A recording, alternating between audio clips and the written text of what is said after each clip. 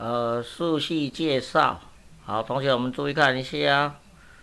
那我们的数系哈，最先开始是从自然数。然后自然数呢，其实它就是一个正整数哦。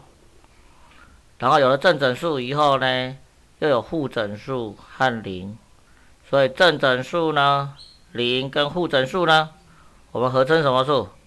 叫做整数。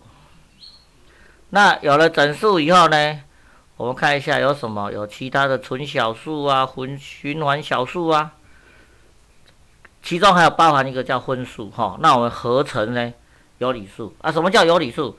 只要能化成分数的啊，就是叫做有理数。那纯循环可以化分数，混循环也可以化分数，整数也可以化分数，这些数呢都是有理数。那同学特别注意，可以化成分数的。数就是有理数，然后接下来无理数，那有理数跟无理数呢？无理数是什么？不循环的无限小数啦，圆周率啦，好带根号的数啦，那这些都是有理数跟无理数合称成什么数？实数。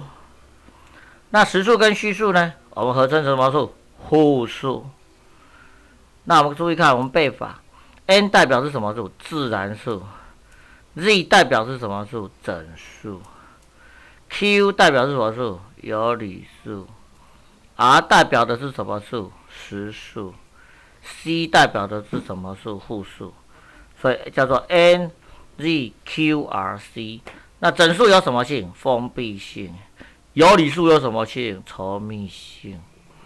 r 有什么性？完备性。好，我们来看一下哦。整数的封闭性就是说，两个整数经过加跟减之后呢，也会成为是整数的。所以整数加整数等于整数，整数减整数也会等于整数，这叫做整数的封闭性。那有理数的稠密性呢，就是任意两个有理数之间最少有一个有理数存在，两个有理数中间还有有理数，两个有理数中间还要有有理数。那什么叫实实数的完备性？两个实数之间至少有一个实数。这叫实数的完备性。那大家注意哦，虚数是不可以比大小的哦。特别注意，虚数呢不可以比大小。好，谢谢。